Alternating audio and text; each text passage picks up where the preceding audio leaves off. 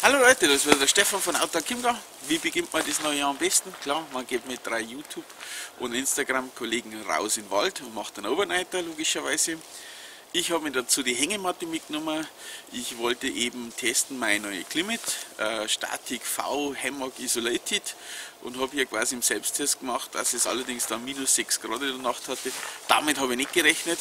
Und wenn ihr wissen wollt, was wir so alles erlebt haben, und ob es mich dann gefreut oder ob die Hängematten das Geld wert ist, bleibt einfach dran. Ja,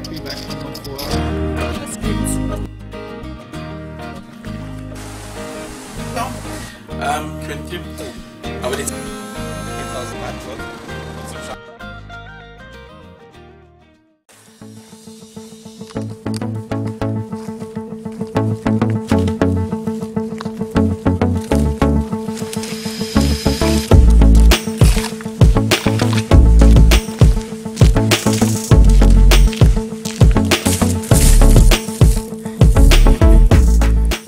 mehrere YouTuber beieinander sind, du kannst keinen Meter gehen, ohne dass irgendjemand irgendetwas filmt.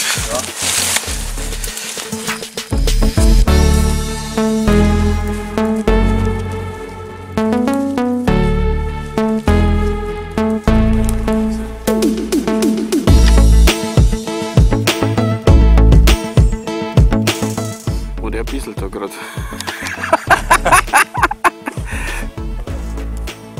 Nein, er filmt.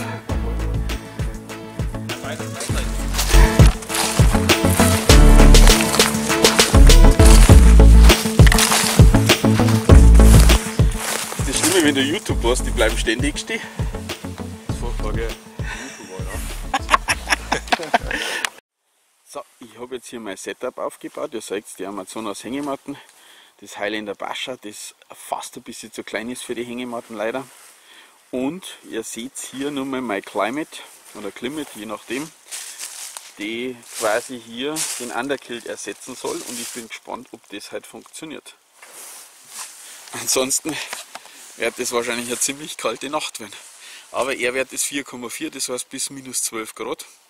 Und wir werden einfach mal schauen, was passiert. Ja, bin einmal gespannt drauf. Aber ich bin guter Dinge, weil ich habe ja keinen Underkilt oder sonst was, sondern das ist der Ersatz. Die Hängematten ist quasi der Ersatz für den Underkilt. Und die hat eben hier diese Flügel. Und ähm, das ist eben der riesen Vorteil gegenüber dem, wenn ich normal in der Hängematten drin liege. Dann bin ich hier immer mit meinem Arm dort. Und deswegen habe ich hier, und das gleiche habe ich auch unten für die Beine, das heißt, dort wo ich quasi normal an der Hängematte anliegen würde, da habe ich den Vorteil, habe ich hier diese Isolierung. Und da ist so eine ähnliche Isolierung wie Chilof drin von Carinthia.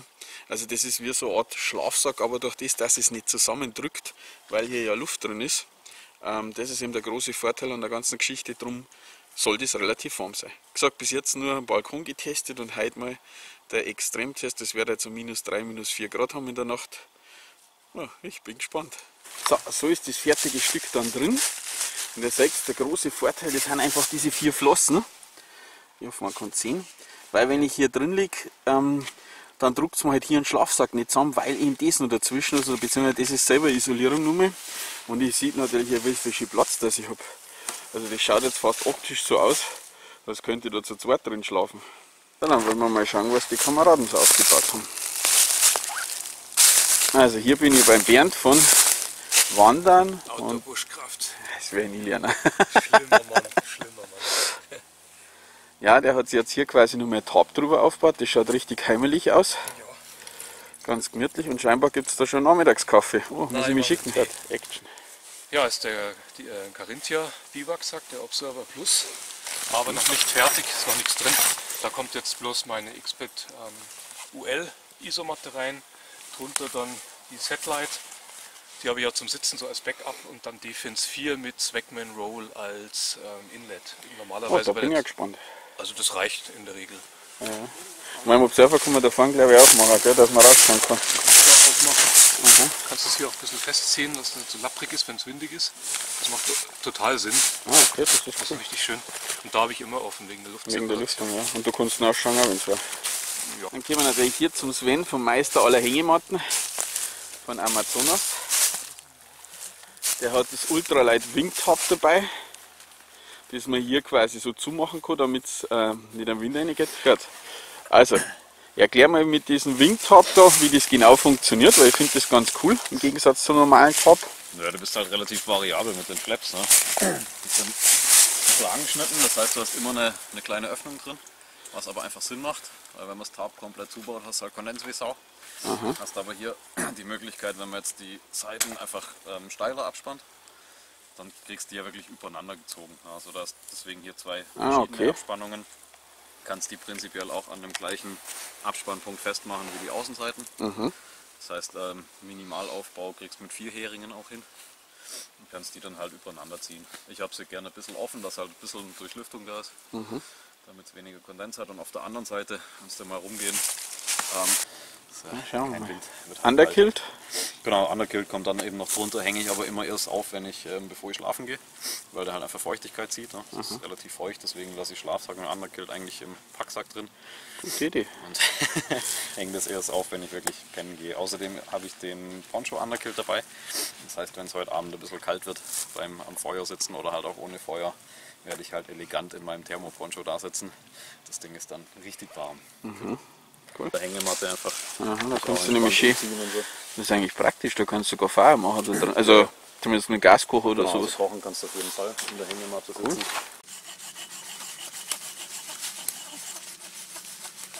Jetzt kommt der große Test für das neue Wolfgangsmesser, was ich habe.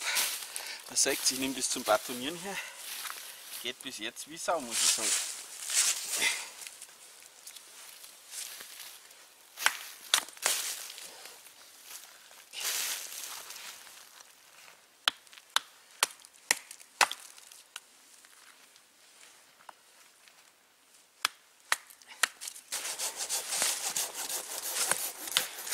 Seltener Anblick, Was? so wenn bei der Arbeit. In der Arbeit gibt es eigentlich nicht. Ich glaube bestimmt. War mit Wolfgangs Feuerstahl ging super, jetzt mit seinem eigenen. Light my fire, Light My Fire ist, light nix fire. ja, da leidet nichts mehr. Make my day. Genau. Schau dir das an. Nimm mal deinen nochmal bitte. So, und jetzt probieren wir es nochmal mit. Ja, der dauert immer ein bisschen. Ja, du musst die richtige Stelle, weil der ist noch nicht komplett abgekratzt. Ja. Was man hier am Ja. Wolfgang schön sieht, dass die Hier. Funken einfach länger bleiben als bei seinem Light My Fire. Das hat man jetzt gesehen, oder? Also von dem her sehr guter Feuerstahl. Wissen wir das auch schon. Der Wald brennt. Mhm.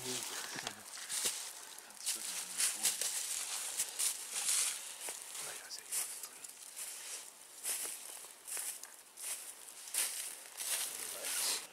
Ja.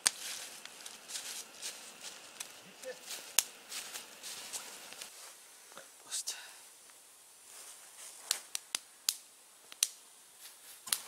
So, und hier habe ich dann auch noch von der Firma Klimit bekommen. Ein kleines Kissen zum Draufsitzen, wiegt nur ganz wenig Hier die Geschenke, Mann. und ist ähm, natürlich äh, von dem her super zum Draufsitzen, das ist echt bequem. Und ob es jetzt die Kälte auch noch schützt, da bin ich jetzt mal gespannt. R-Wert ist 1,1, mal schauen. So haben wir ein bisschen Kontakt. Ne?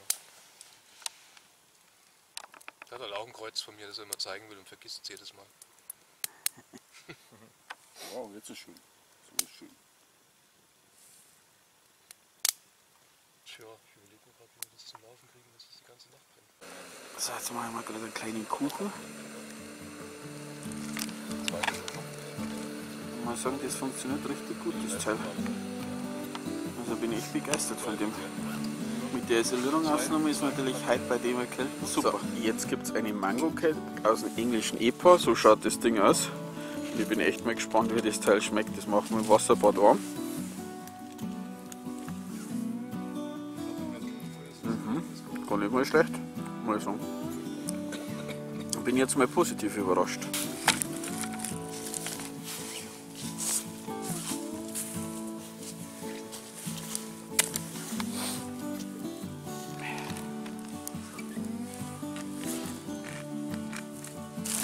Koche also gerade auf dem neuen Teil, das hier von Highland jetzt mit dazu geliefert wird.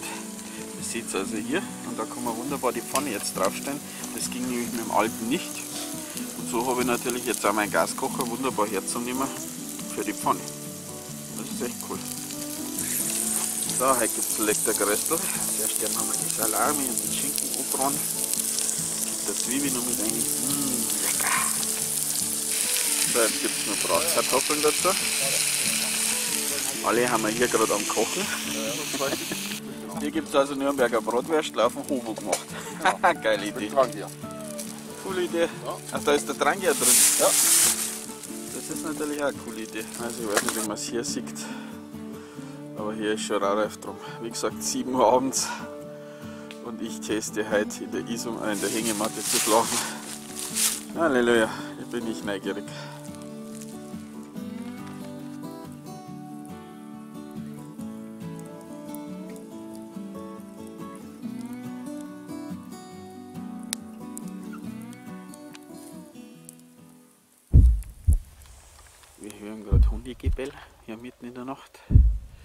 Sich langsam nähert. Aber keiner weiß warum. Haben wir das Feuer ausgemacht und haben wir im Tarnmodus. So, hallo Leute. So, nach dem ganzen Hundegebell hat uns das jetzt genervt, deswegen haben wir jetzt in die Haie gegangen.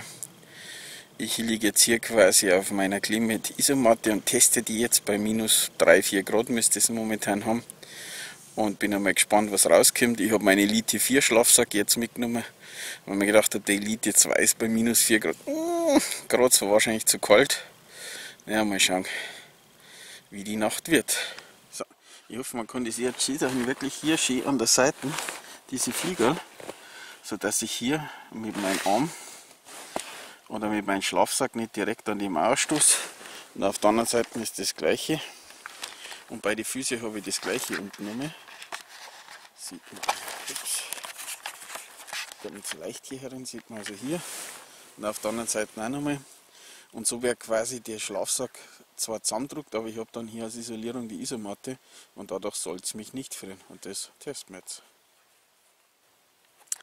So, es ist jetzt 4 Uhr morgens. Ich musste gerade mal kurz raus. Und es ist arschkalt draußen. Es hat also minus 5 Grad und es ist so eine richtig feuchte Kälte da herin, weil der Wald so feucht ist. Und ich wollte euch mein erstes Fazit geben zu der Climate.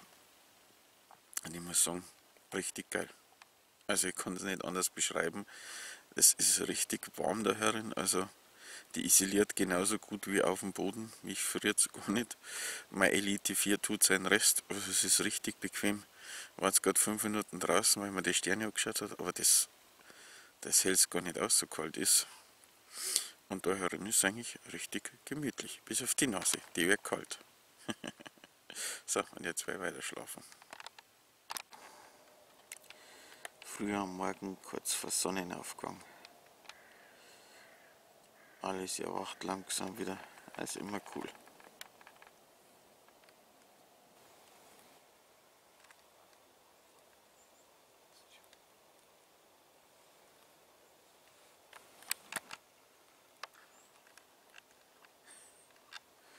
Da guckt er.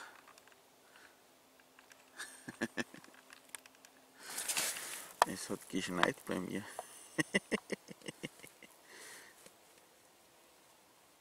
Das ist der Raureif scheinbar. Wahnsinn. Hm, Man merkt, es war doch ziemlich kalt. so, hier geht schon ans Abbauen. Schön langsam. Ist doch arschkalt.